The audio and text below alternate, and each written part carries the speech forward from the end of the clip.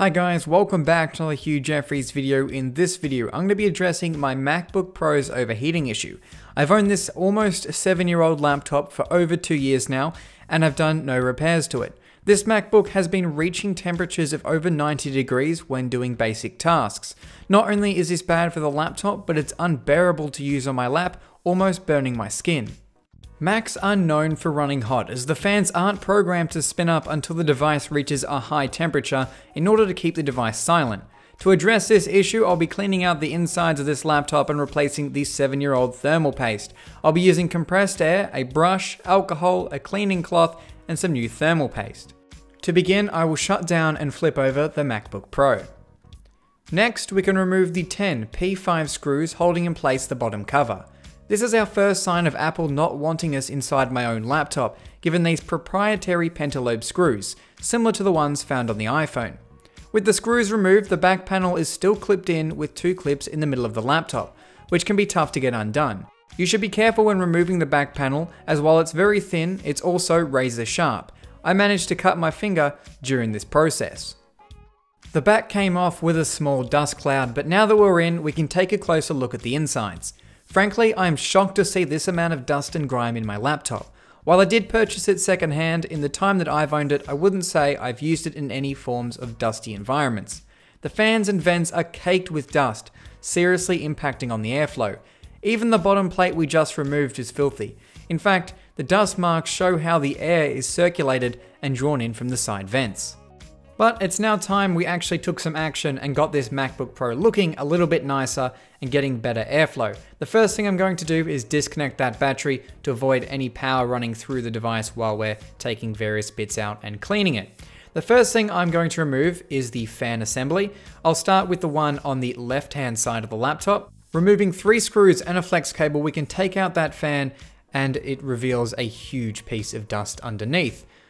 I can then move across to the right hand side of the laptop where I can disconnect the airport card, a couple of flex cables, and actually start unscrewing the fan and also the Wi-Fi card. This will give us access to the flex cable for that second fan which we'll need to disconnect before we can entirely remove the fan assembly.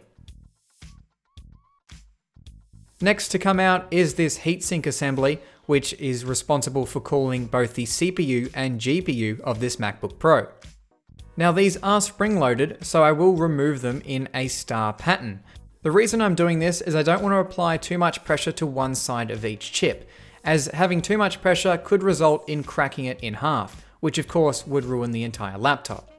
With those removed, there are two remaining screws for the heatsink, and then it can be lifted out of place.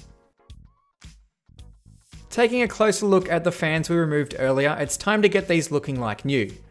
While I could just hit them with some compressed air and a brush at this point, I wanted to disassemble them a little bit further so I could get better access to the actual fins of the fan.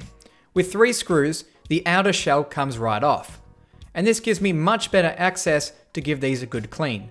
I started with some compressed air, but this didn't really do too much as the dust was pretty caked on. This is where I came in with a household painting brush to give it a bit of a clean.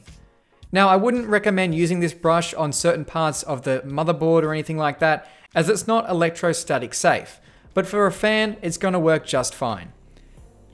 After a good clean, I gave it another go with some compressed air just to finish things off. It's now time to do the other fan, repeating the exact same process to remove all that dust and grime.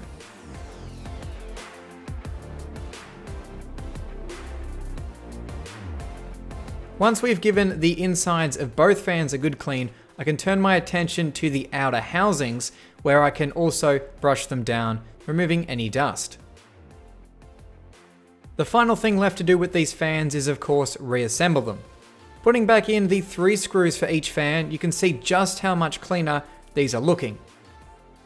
Next up, we can turn our attention to the heatsink where I can hit it with some compressed air to remove any dust built up in the actual heatsink fins making sure that they are nice and clean.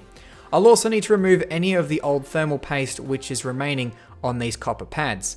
Using some alcohol and a paper towel, we can wipe the old stuff right off.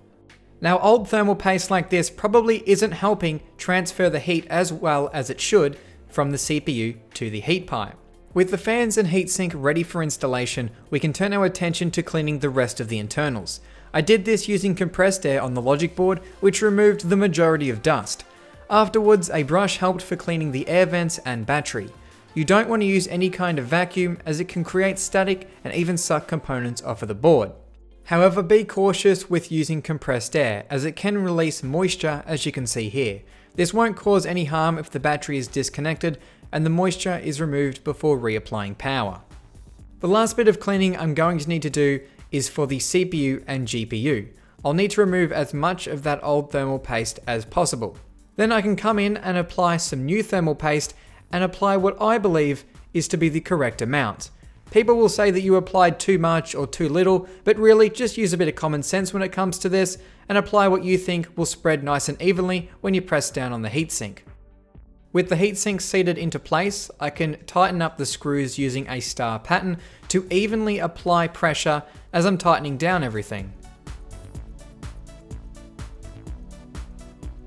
With that done, we can install two more screws for this heatsink, and then it's time to put these fans back into place. I'm going to start on the right hand side and line everything up correctly, connect the flex cable and install the three screws.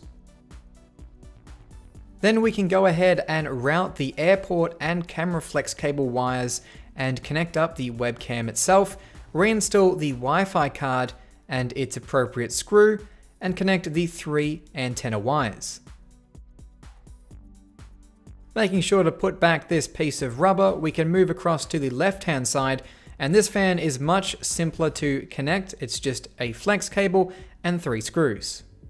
However, when installing the fan, I noticed a fried component on the logic board near the speaker connection. So I hit up my good friend Federico who specializes in data recovery and board repair. I will leave a link to his website down below. He pointed out that this is a shorted capacitor connected to the audio amplifier, and if completely shorted would result in no sound. I did notice a small drop in the volume output of my laptop about 6 months ago, so this would be the reason. So I won't be fixing this today as I don't have the replacement part or a donor board, my sound for the meantime is working just fine. So all that's left to do is reconnect that battery, and you can see just how much cleaner this MacBook Pro is looking.